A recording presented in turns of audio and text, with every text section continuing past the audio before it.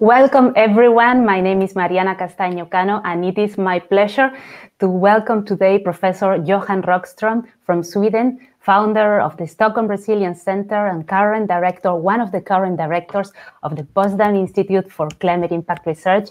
Welcome, Professor. Thank you. Great to be with you. Thank you. You are the author of many scientific uh, works.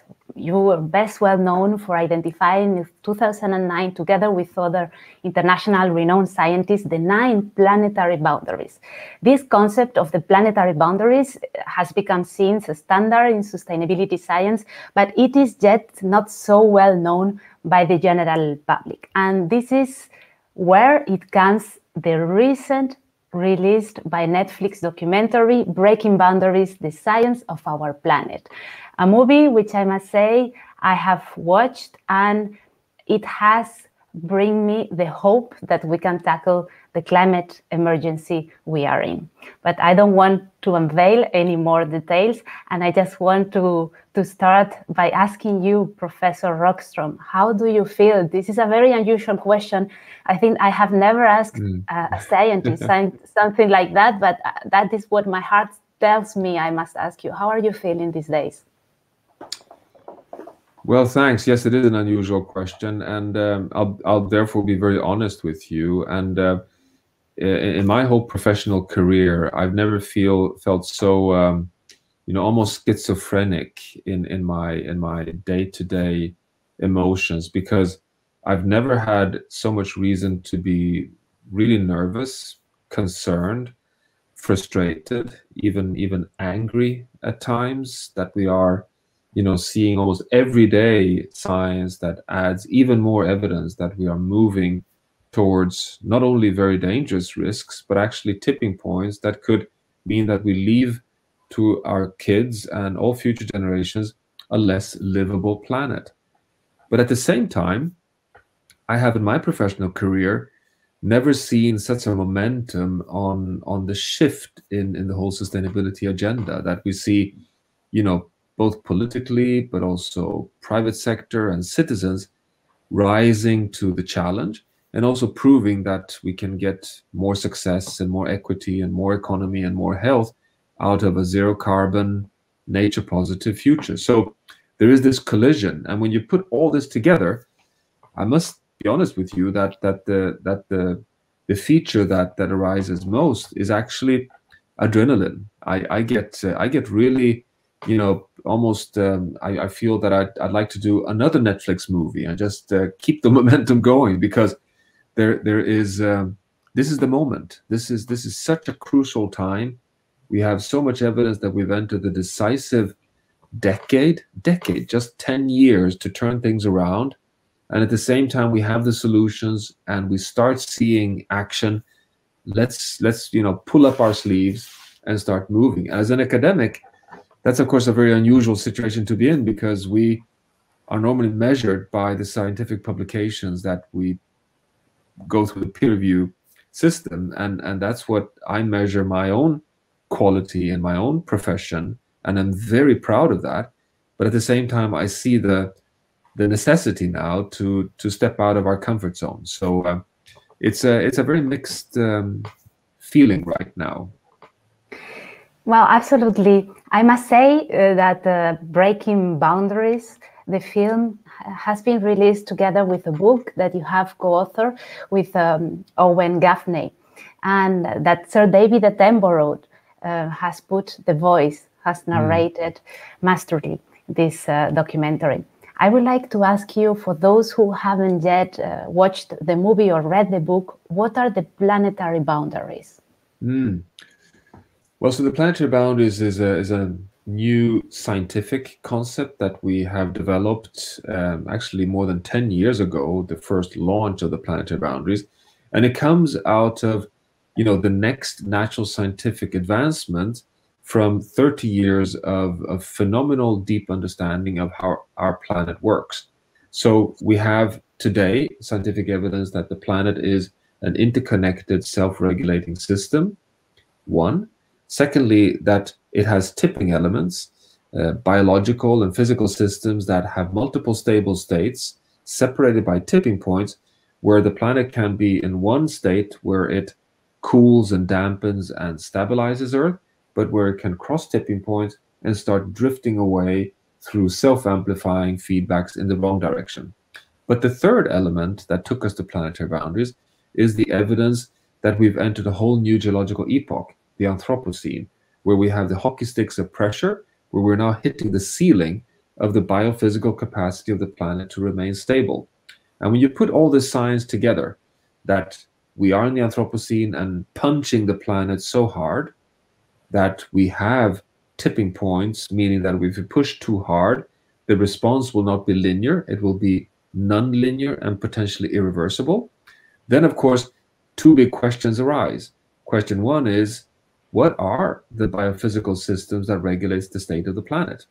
And if we can identify those systems that, that determine the interactions between all the self-regulating systems on Earth, can we, for these systems, scientifically quantify a safe operating space, a number for each of these boundaries, beyond which we risk drifting off in an you know a, a, future that cannot support humanity on the long run but if we stay within them we have a safe space a space where we can develop have equity prosperity for all humans on earth. And tata you have the planetary boundary framework. So that's that's the theory behind it. And and i really like to emphasize that it didn't come from the blue. It is it is the natural next step of all the scientific evidence that we've seen being advanced over the past 30, 40 years.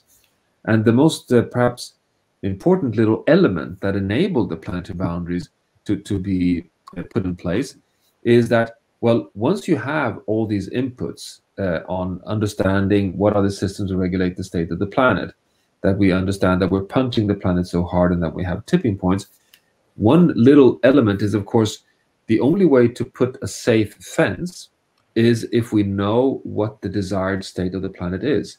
Uh, what what do we depend on? What do we love? What's the what's the state of nature, the oceans, the ice sheets, the climate, the atmosphere that we as humans depend on for our development? And interestingly, science can answer that question. And that is also based on, on enormous scientific advancements over the past decades. And it's, of course, the ice core data that proves that over the last 12,000 years, you know, when we left the last ice age 12,000 years ago, we were, you know, modern humans. We've been modern humans on Earth for the past 200,000 years. So most of the time when we have been modern humans on Earth, we've lived in deep ice age because the last ice age was over 100,000 years long. We are just hunters and gatherers. We live in very harsh conditions in deep ice age. The sea levels is 70 meters lower than today very, very variable climate, climate extremes.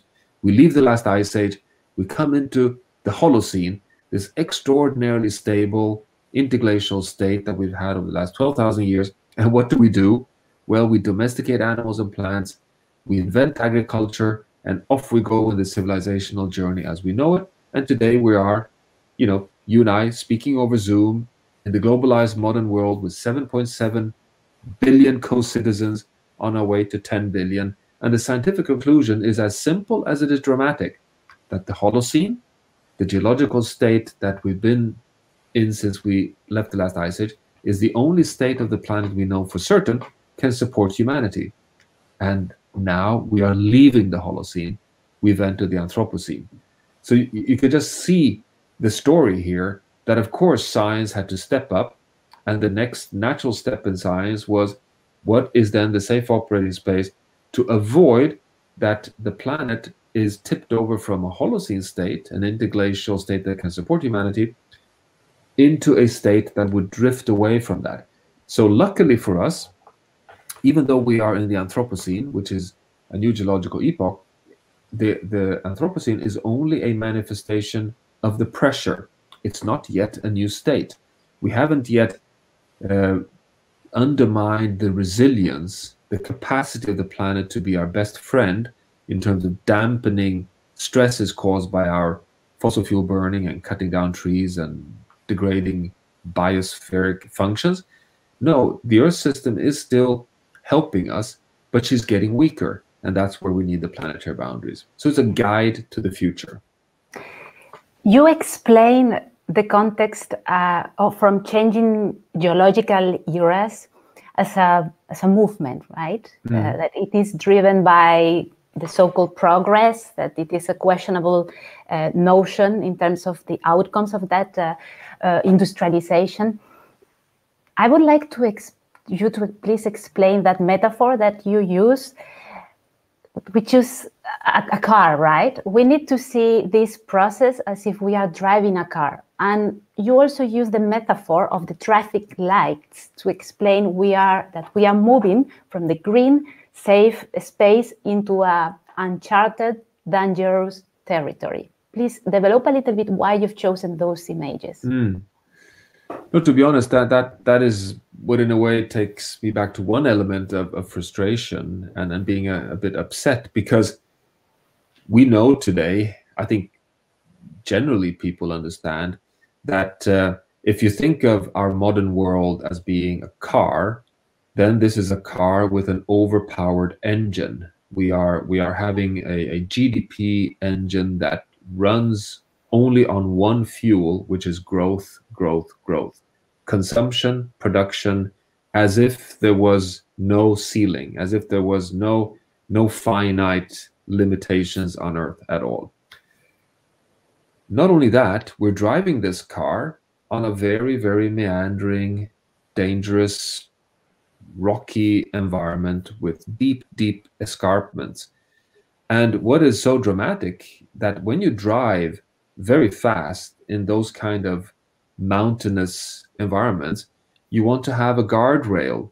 You want to have a fence that avoids that you fall over the side of the road. But we don't have those guardrails because those guardrails are the boundaries that science can set up. But not only that, it, it's in the middle of the night and you're driving this overpowered car much too fast in this very, very meandering mountainous road without any guardrails, and you haven't even turned on the lights. The car is black. Everything is black. You're just driving right there in the darkness because you don't know where you're heading. And is that a very satisfactory way of going into the future? Well, I would be very nervous if I was subjecting my children to that kind of drive.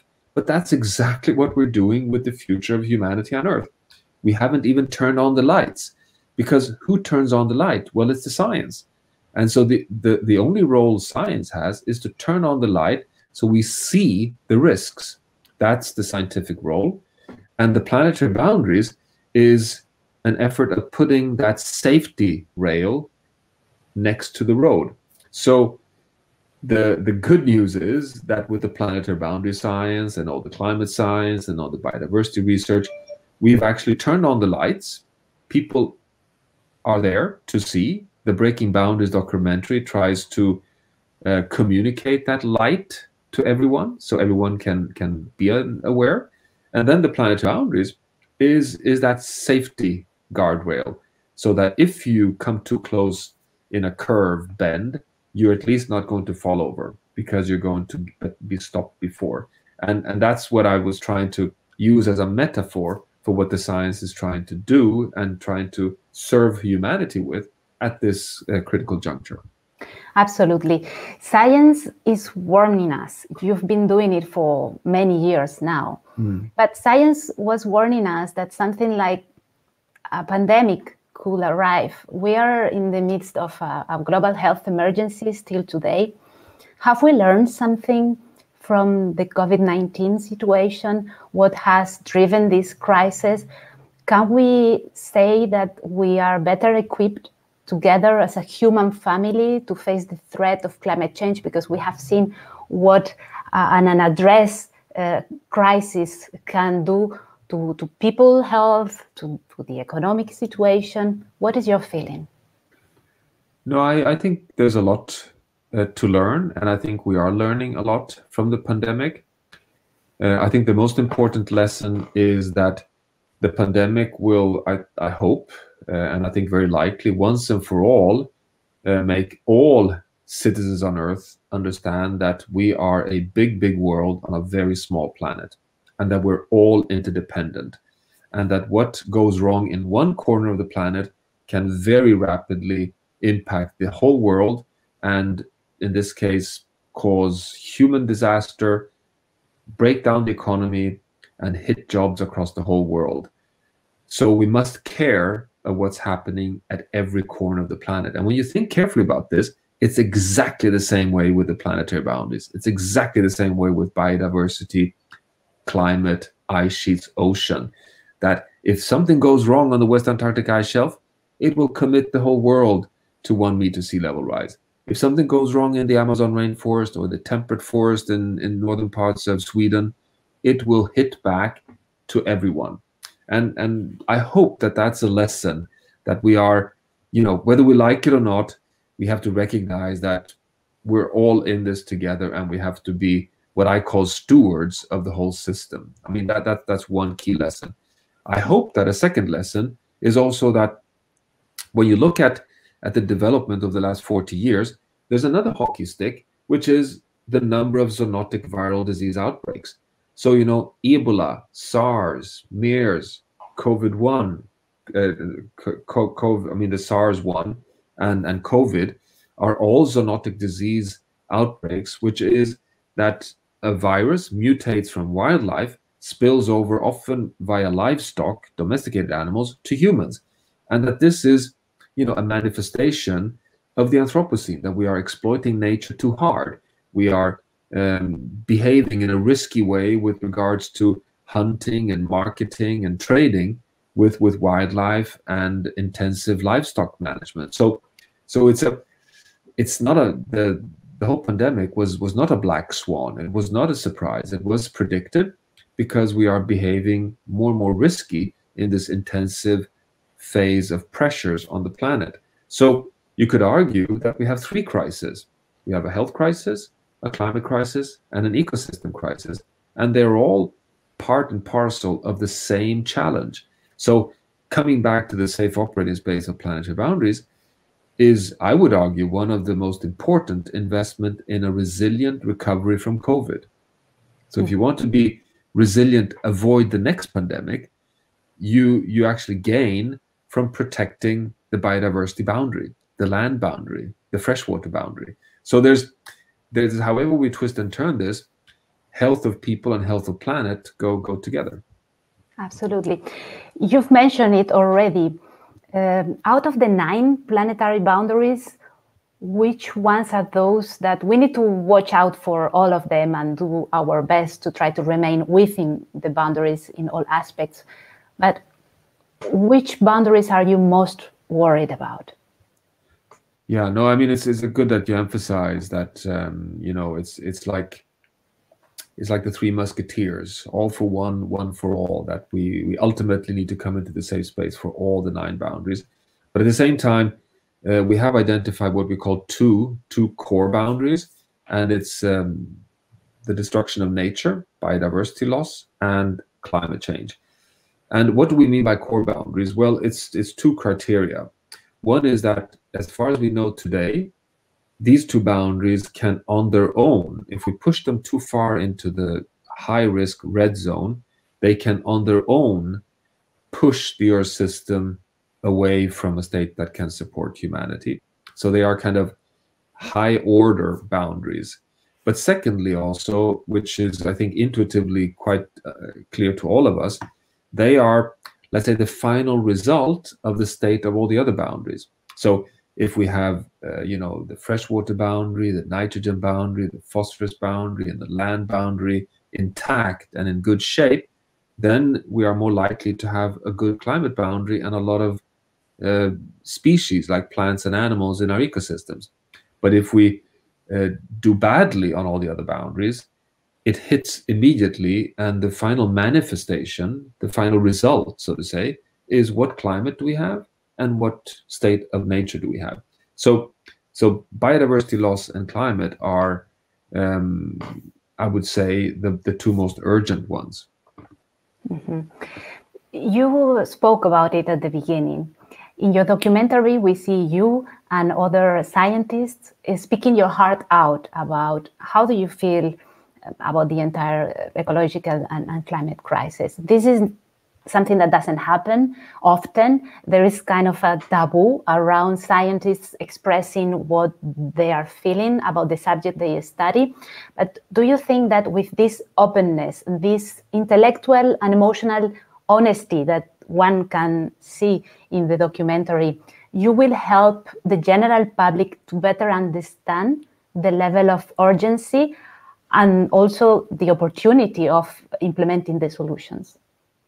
No, I really hope so, and and I'd just like to underscore that. Um, um, and as you see in the documentary, it's not only me; it's it's uh, it's many of my peers around the world that we are we are really nervous. And and why are we nervous? We're nervous based on the numbers we're seeing of the evidence we are documenting of all the science we are producing.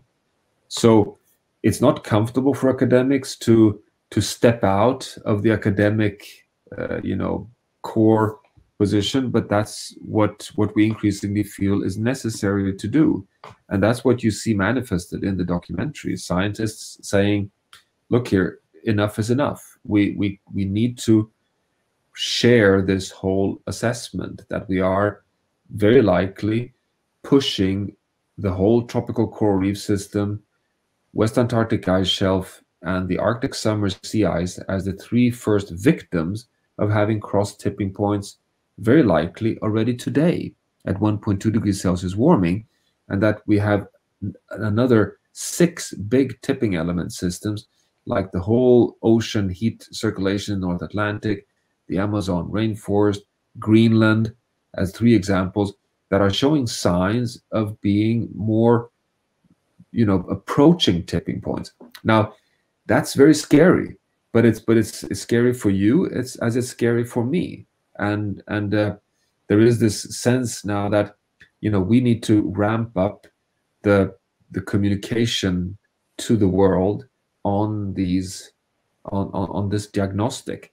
And and so that that's what uh, I think is it's not so surprising that that we see that uh, that perhaps uh, not so usual um, uprising from from colleagues around the world. Mm-hmm. But it is very powerful, I must say.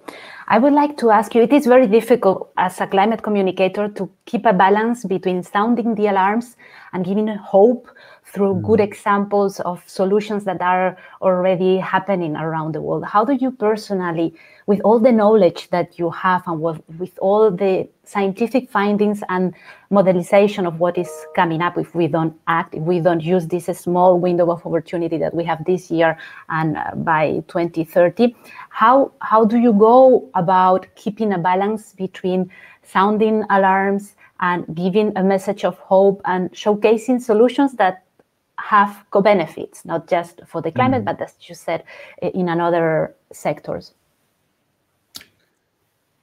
Yeah, I mean, to, to start with, um, let let me also emphasize one thing, which is that um, I um, personally never add uh, hopeful statements unless I have evidence for that hope.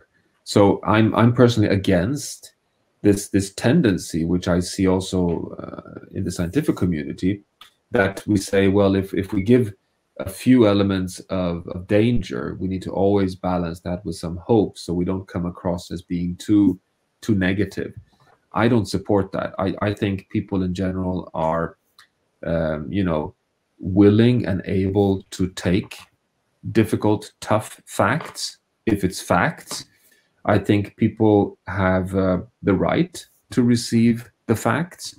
I also think that uh, just like you or I who go to a hospital and meet a doctor, we want to have a full diagnostic. You, you, you're not very satisfied if you uh, um, come with a very serious disease and, and the doctor doesn't dare to share that with you and say that, well, you got some, some coughing and take some uh, uh, aspirin and go home when in fact you need to uh, uh, go for some surgery. So so that's uh, exactly what what I think is necessary now. It's it's painful, but it's necessary to communicate the whole scientific assessment.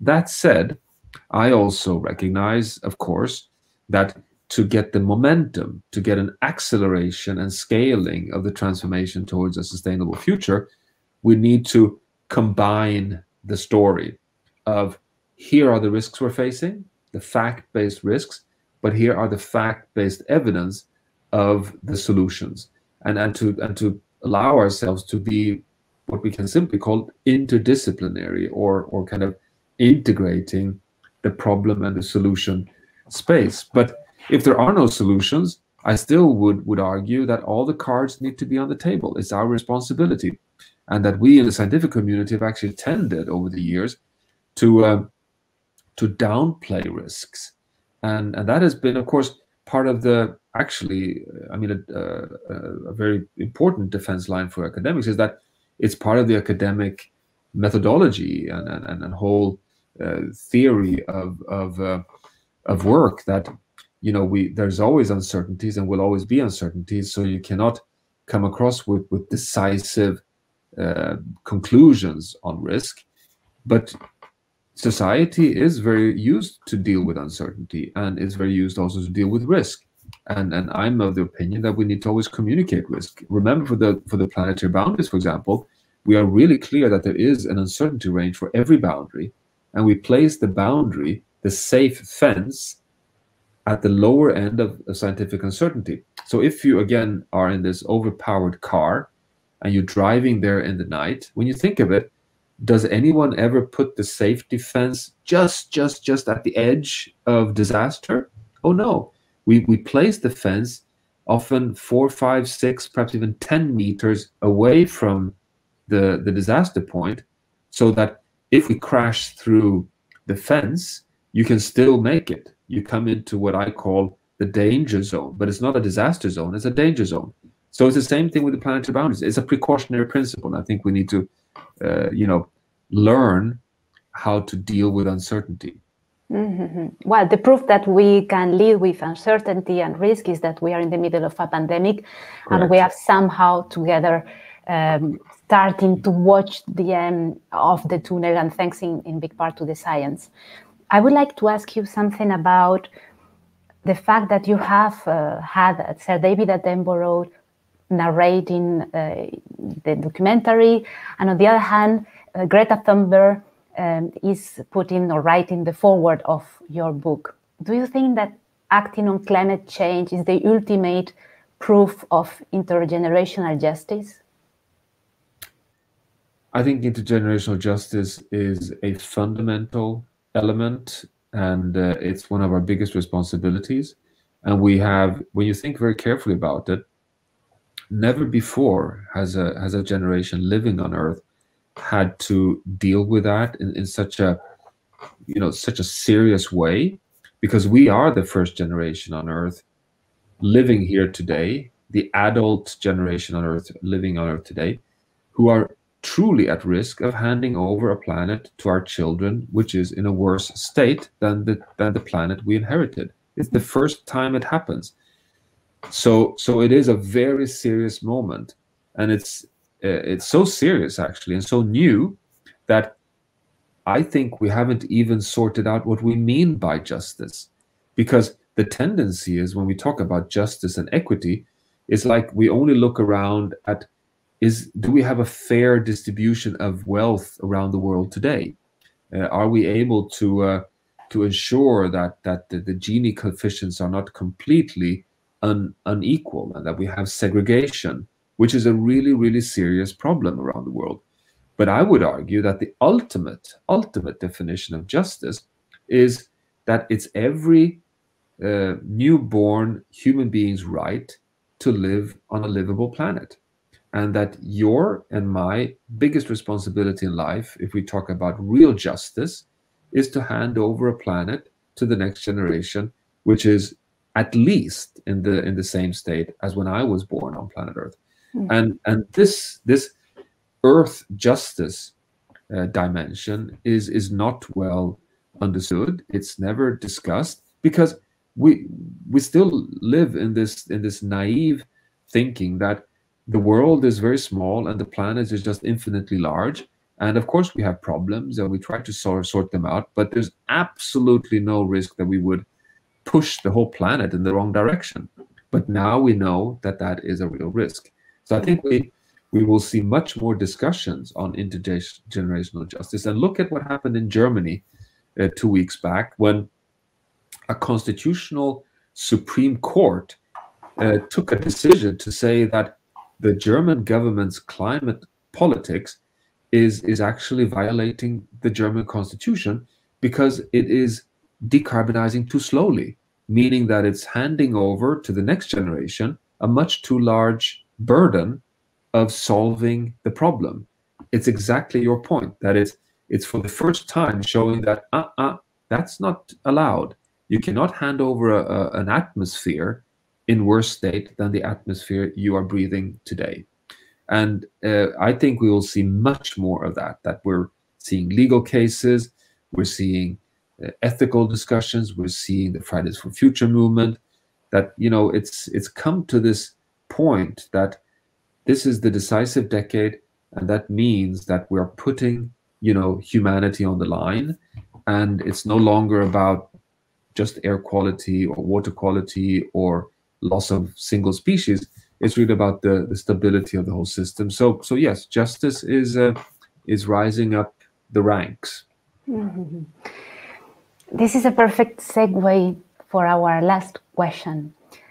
For those who haven't yet watched the movie, I will invite them to watch it and, and read their, their own conclusions. For those who have already watched the movie, what would you tell them? What would you suggest they should do with this sometimes heavy burden of mm. knowledge? Yeah, no, you you. I, I really appreciate that question, and um, I'll give you a very my my top favorite answer to that. And and I really mean it, which is I think the most important thing that that um, you can do, um, who who have seen the documentary and perhaps read the book and, and perhaps have uh, an interest in these issues in general, is is to talk to your friends, keep the conversation going, uh, try to help in creating networks of buzz around the world. If all of us keeps this whole narrative of how we are facing unacceptable risks. We're putting the planet on the line. We have the solutions. We have a responsibility. If we solve this, we'll have a better future. If we can, you know, have that as a as an intensive, very high frequent, you know, like a like a music beat around the world, I think that's the that's the number one task. The number two, of course, is to uh, look look inwards to ourselves and say, look at what what can what can I do to contribute towards coming back within planetary boundaries? And interestingly, there's quite a lot we can do. Uh, we can do some some you know not so dramatic shifts in our diets to to combine what is more healthy for ourselves and also contributing to the health of the planet. We can download you know one of the carbon calculators on our mobile phone and calculate our own personal carbon footprint and adopt the carbon law, which says scientifically cut emissions by half every decade, and we follow the pathway that will take us to a net zero world economy by 2050. It's the world that needs to do it, but you and I can do it as well.